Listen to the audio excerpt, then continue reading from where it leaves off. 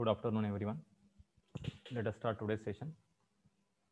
So this is practical number two of the mechatronics lab. So during the last session, we have seen the objectives for the mechatronics labs and the outcomes. Okay. So outcomes means what is expected from your side after completion of this mechatronics lab. And then we were discussing about the syllabus for the mechatronics. So in the lab, we have three sections. Group one, sensors and actuators. In the group two, we have control system. And group three, it is the automation. Okay. So for your syllabus, it is expected that we should cover at least three experiments from each section. Okay. So today we will start with the group three, that is automation part. And from group three, we will start with the experiment number six, that is designing a sequential operation for two cylinder using electro-hydraulic circuit and experiment number seven, electro-pneumatic circuit. Okay. So basically we will understand the pneumatic system, then what are the components of the pneumatic system, and then we will study the hydraulic system and what are the components of hydraulic system. Okay. So pneumatic system, the system or machine which are operated by compressed air. Okay. So for the pneumatic system, we use working fluid as air. Air, it is a low power system. That is a pneumatic system. It is a low power system compared to the hydraulic system. Okay. That means the force generated in the pneumatic system is less compared to the hydraulic system. Okay. So basically pneumatic system, it operates in the pressure range of 600 to 700 kilopascal. That means it is 6 to 7 bar.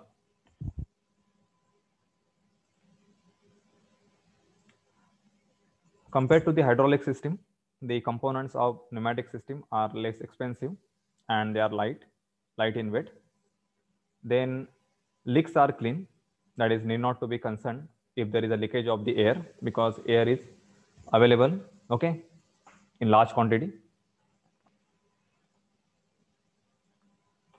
And air is a cheap working fluid. So these are some advantages and disadvantages of the pneumatic system. Okay. So disadvantages, it is a low power system compared to the hydraulic system. Now, what are the applications of the pneumatic system? So the first application that you can see here, it is a pick and place operation. So generally pick and place operations, they are performed in the industries, okay, in the assembly line in order to pick some part and place it to some other position, okay.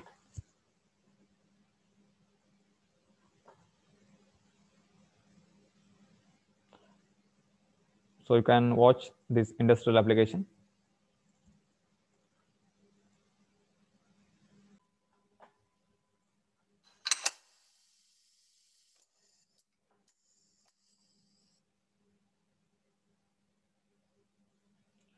So this pick and place operation is carried out by using the pneumatic cylinders.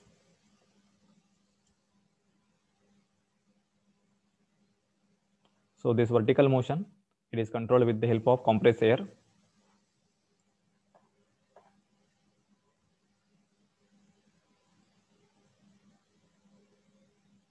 So here blue lines visible, they are basically fluid lines. So compressed air is supplied from compressor to this cylinder with the help of these blue lines.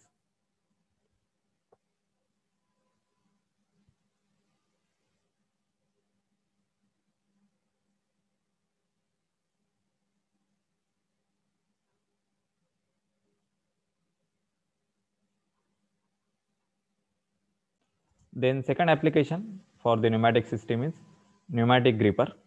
So basically grippers, they are used for the robotic end effector.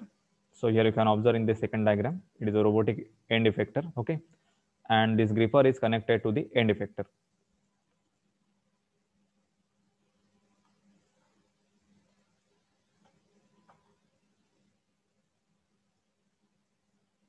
So here you can observe how the operation is carried out.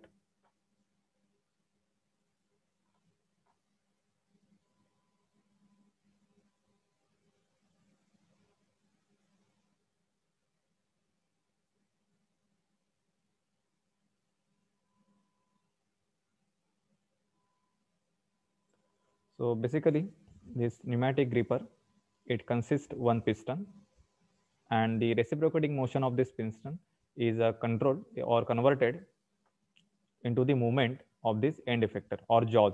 Okay. So with the help of compressed air, this piston moves forward and in the reverse direction and then it controls the gripping motion.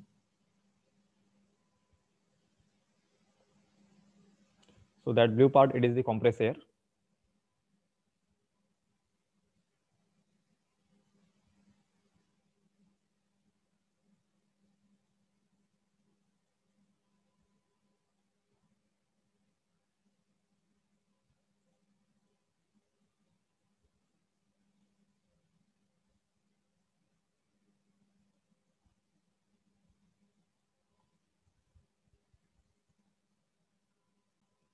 Then next application, pneumatic operated steam valve or the directional control valve. So basically pneumatic controlled steam valves, they are used to control the steam flow in the power plants. So with the help of compressed air, we can control the valve and then it controls the steam supply.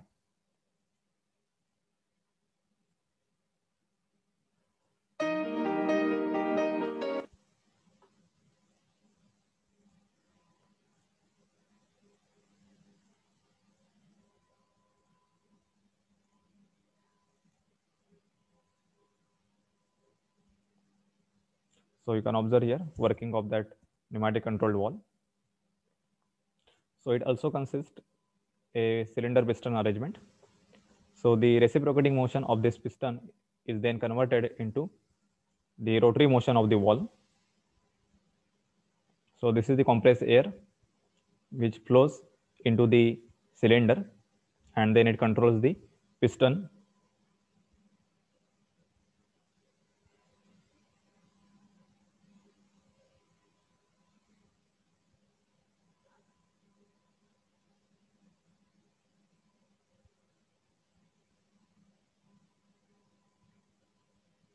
So here you can observe with the help of compressed air, wall is open and then it allows the flow of the water or steam.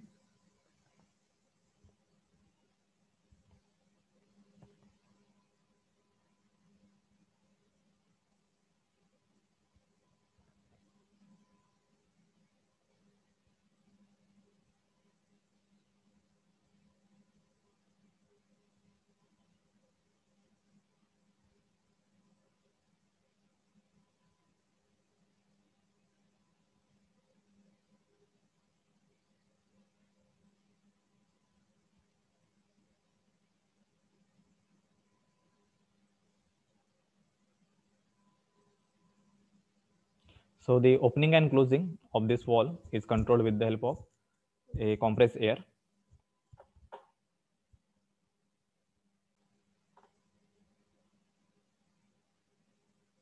So basically pneumatic push and sort system, it is used to sort the components or the parts in different conveyor belts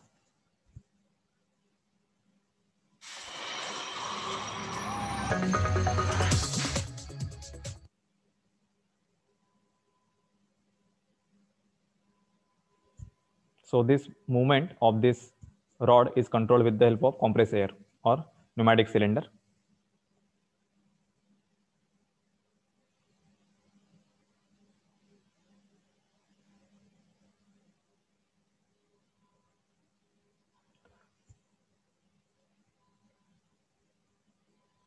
So these are some applications of the pneumatic. So now we will see what are the components for the pneumatic system. So first component, component is actuator cylinder. So generally it is called as a pneumatic cylinder. The pneumatic cylinder is controlled with the help of valves. So basically they are solenoid valves which are operated with the help of electric supply. Then the compressor, then pressure regulator and the lubricators. Okay, so these are the main components of any pneumatic system. So we will see this one by one. What is meaning of actuator, valve, compressor, pressure regulator and lubricators. So this is the schematic diagram for a, any pneumatic system. So here you can observe different components. So pressurized air is developed in the air compressor. Okay. So air compressor, it has a compressor and the reservoir. So this tank is a reservoir which stores the compressed air. Then from compressed air, uh, reservoir, air is supplied to the FRL unit. So basically FRL unit is the filter, regulator and lubricator. Okay. So we will study this in detail. What is meaning of FRL unit? Okay. And from FRL unit, air goes into the wall. So basically wall, they control the air from FRL unit to the cylinder. Okay. And from solenoid wall, air goes into the cylinder and then it controls the movement of this piston rod. Okay. So this is the schematic diagram for a pneumatic system. So the first component, it is the cylinder or it is also called as the actuator.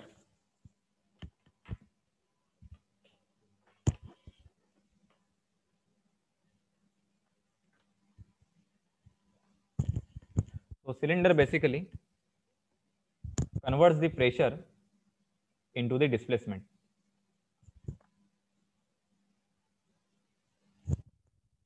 So here you can observe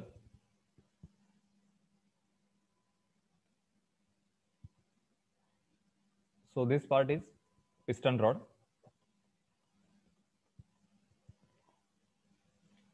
Then this is the cylinder body. Or it is the cylinder cover.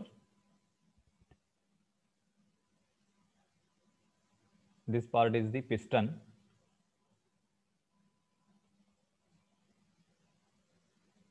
And this is the port. Okay. So basically this is the inlet port. So if the cylinder is double acting, there are two types of cylinders. One is a single acting cylinder and second is the double acting cylinder. Okay.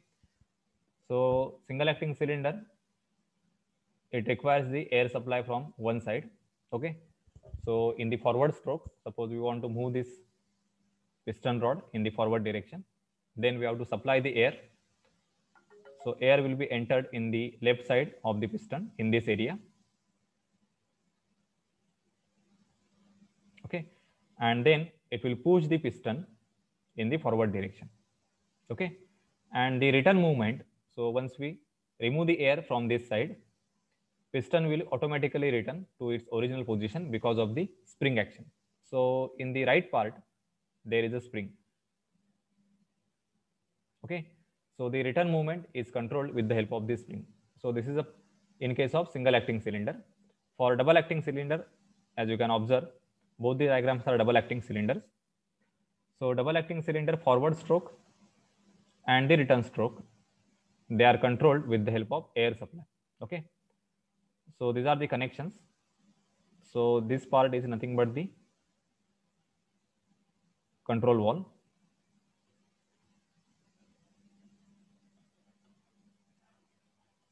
So basically it controls the fluid supply from compressor or FRL unit to the cylinder. Okay. So this is the port for forward stroke and this is the port for the return stroke.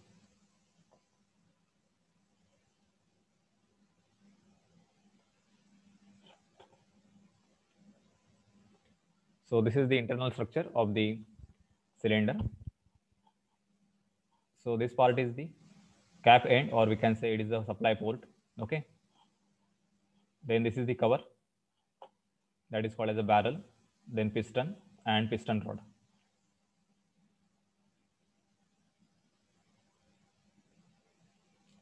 Now cylinders, there are two types of cylinder. First is the single acting cylinder. So you can observe here for single acting cylinder,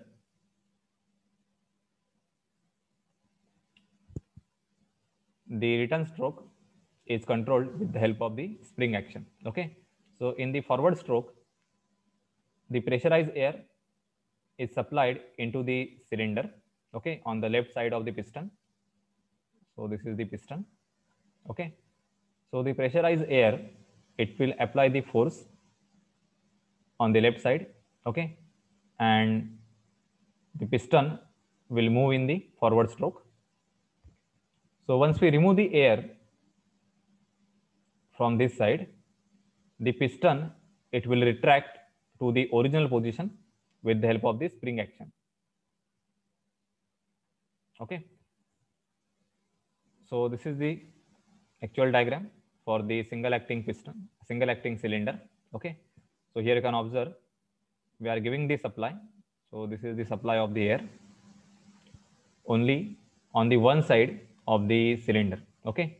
So return motion is controlled with the help of the spring action.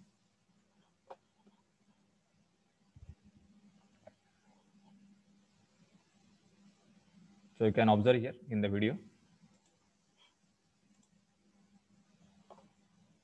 In one magnet in thin steel pod buckling with wears.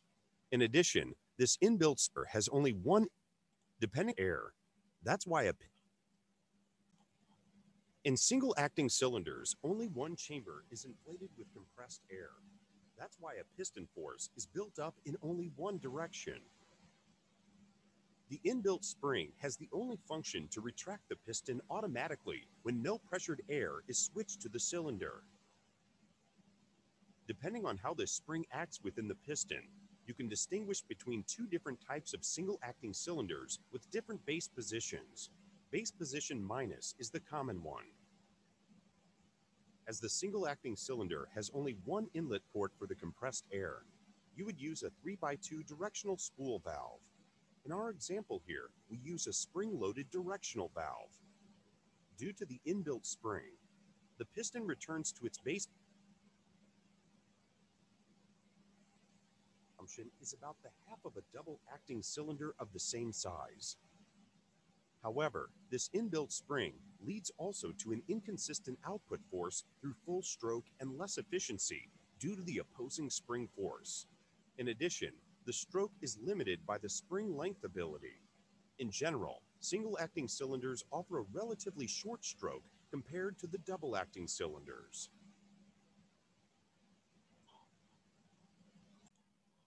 Now the second type for the pneumatic cylinder, it is the double acting cylinder. So double acting cylinder, forward and uh, return stroke, both are controlled with the help of the pressurized air. So you can observe here in this diagram. Okay. So there is no spring in the cylinder barrel. Okay. So to control the double acting cylinder, we need a 5 by 2 valve. This is 5 by 2 directional control valve. So we will study what is meaning of 5 by 2 valve.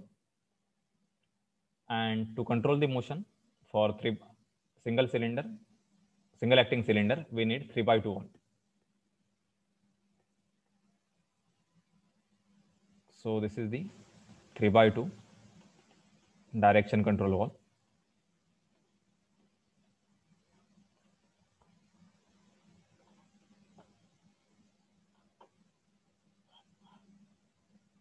We can observe the working of the double acting cylinder.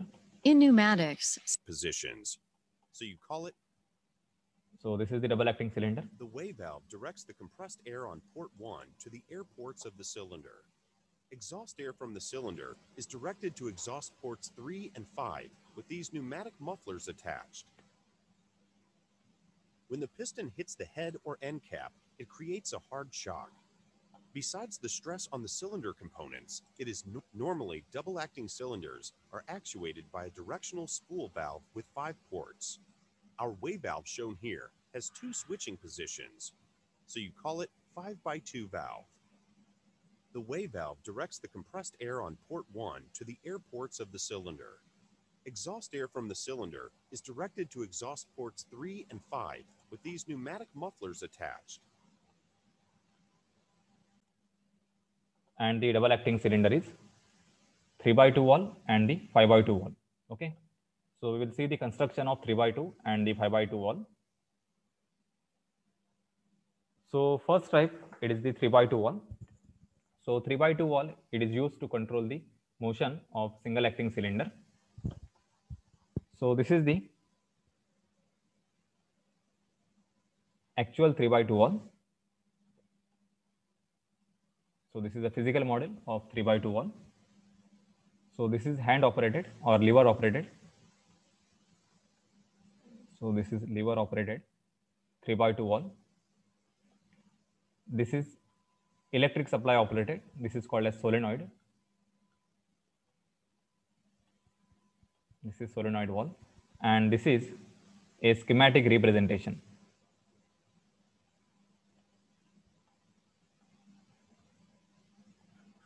Okay. So we will discuss what is meaning of schematic representation. So how to represent a 3 by 2 wall and 5 by 2 wall. So this is the internal structure of the 3 by 2 wall. Okay. So basically 3 by 2 wall, it consists one spool. So this is called as a spool.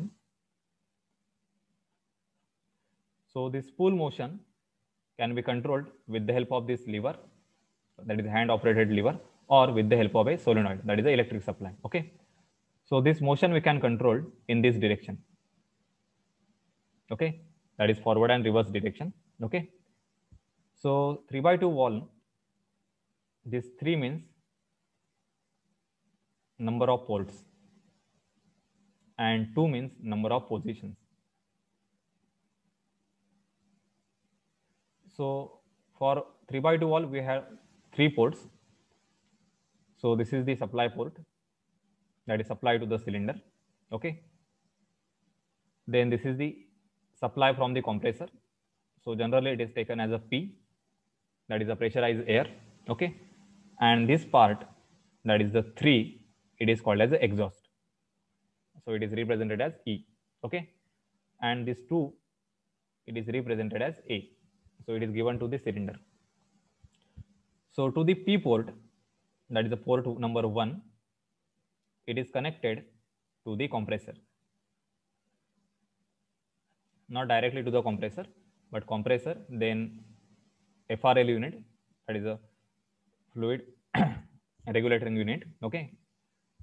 And then from that, it is connected to the P port. Now, when we activate this spool with the help of the solenoid or with the help of this lever, then it will supply the air from this part, that is port number one, to the port number two. Okay. And then it will cause the motion of this piston in the forward direction. Okay. So right now it is at the retracted position. That is called as closed position. So you can observe here this passage, it is closed with the help of this spool.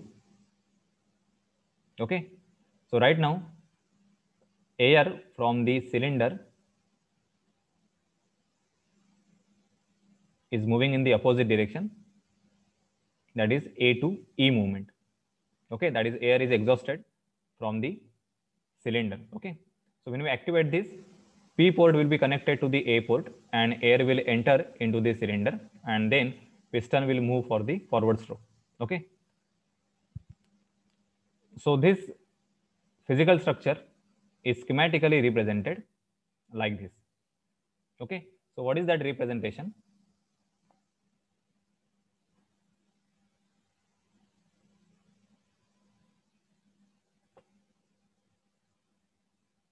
So complete wall is divided into two rectangles. So these are the ports. So this is port A, which is connected to the cylinder. Then this is the P port, that is the supply port, and this is the exhaust port. Okay. So initially, the wall is normally closed position.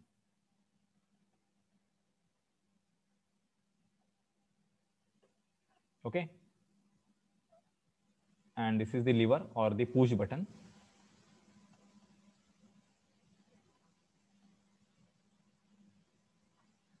so normally closed position means this is the position of the cylinder this piston is retracted okay That means it is a normally closed position.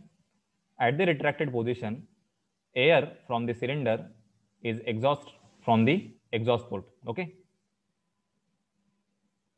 So this is the A to E connection. That is A port, it must be connected to the E port. Okay. And the left rectangle. So in the left rectangle, we have the same arrangement. We have P port, then E port, and the A port. So A is connected to the supply, but the connections will be P to A. That means